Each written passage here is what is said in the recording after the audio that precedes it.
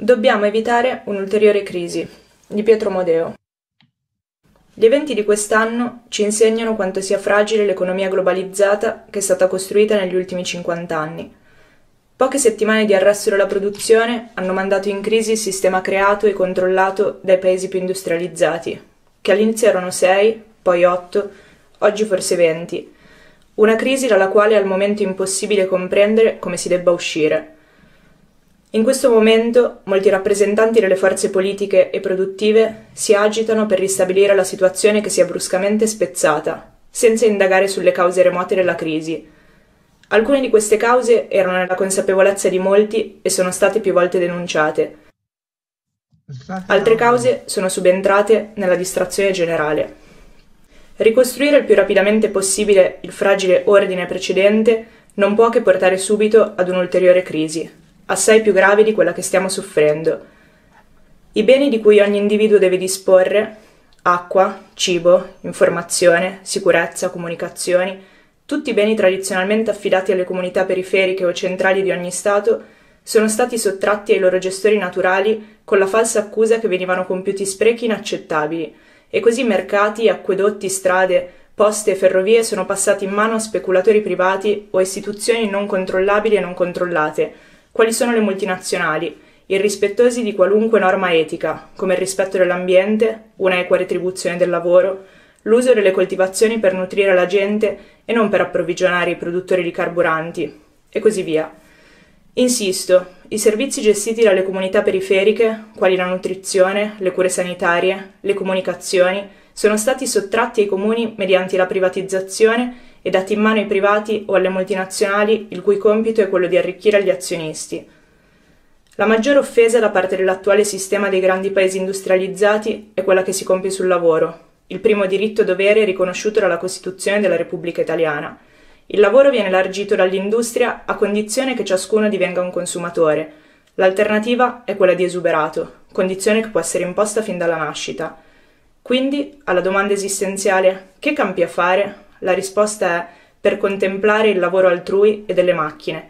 E se proprio vuoi fare qualcosa che simula il lavoro, fallo pure, a patto di non disturbare i traffici che arricchiscono i privilegiati. La società deve far lavorare tutti, non per arricchire le industrie e chi le possiede, ma per favorire il bene comune, dalla gioventù fino a quando ogni individuo può contribuire, anche in minima misura, a questo scopo. Non deve creare innumerevoli ghetti dove vengono accantonati gli anziani e gli esuberati, bensì dare lavoro per il recupero e la protezione dell'ambiente che ci dà vita. Ogni individuo deve rifiutare il ruolo di consumatore di cose superflue, prodotte con materiali sottratti alle poche risorse disponibili in un pianeta già sfruttato oltre il sostenibile. La condizione di esuberato interessa più della metà della popolazione umana, priva della possibilità di agire per il bene o per il male, ma in attesa di sparire per alleggerire l'economia, un'immensa moltitudine mobilizzata davanti ai televisori a subire la propaganda del superfluo. In un quadro ambientale che era già estremamente compromesso, l'evento che si è prodotto in Siberia il 29 maggio 2020 avverte della necessità di incrementare potentemente la capacità di reazione dell'umanità. Un'informazione adeguata e intransigente è necessaria per far assurgere il problema di salvarsi, ha priorità in grado di surclassare qualunque altro argomento, giungendo ad accantonare ogni interesse privato a favore della collettività. Noi stiamo esagerando, abbiamo esagerato, noi intendo dire come umanità nel suo complesso. Questo dicendo in termini molto molto semplici, che stiamo a rischio, non solo sono a rischio molte specie viventi, ma siamo a rischio anche noi. Allora io direi che l'intervento di Pietro che ha toccato degli argomenti di una complessità che non so neanche come ha fatto in quattro minuti, tra le varie cose che ci dice è che non possiamo delegare, perché la situazione delle, delle scelte strategiche purtroppo è troppo in mano a tutto il quadro che ha descritto lui.